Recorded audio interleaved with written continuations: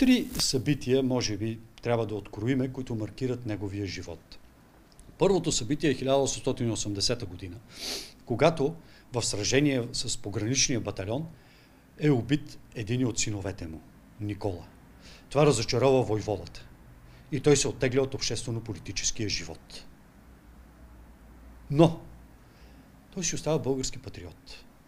Когато избухва сръбско съединението и последвалата сръбско-българска война, и войната разбира, че Сърбия е навлязла в пределите на България в началото на ноември 1885 година, той нарежда докарайте коня ми. Той се качва на този кон и участва в доброволческата дружина, доброволческия отряд, който е формиран по това време и действа тук в района на Тюстендилско и Босилиградско срещу сръбската армия.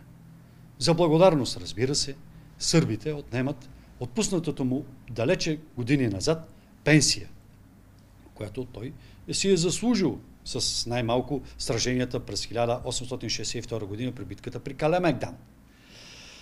А, това обаче не прави а, войводата по-малко патриот. Той плаща своя патриотичен данък, като взема страната на своето отечество в тази война. Друг момент е 10 години по-късно, през 1895 година, когато Тюстендил е основната зона, откъдето в четническата акция започват да проникват четите на Върховния македонски комитет.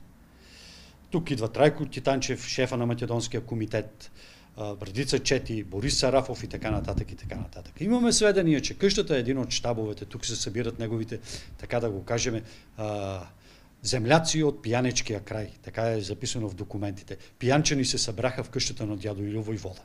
Значи той вече на преклонна възраст, на много години, все още е активен в освободителното движение. Имаме сведения, полулегендарни, че тук са идвали и редица от дейците на движението от този първи период, като Гоце Далчев, например, за да търсят съвети от стария войвода. Той умира в Тюстендил преди 125 години на 17 април 1898 година. И тук е погребан на Тюстендилските гробища. Или войвода остава навети в Тюстендилската земя.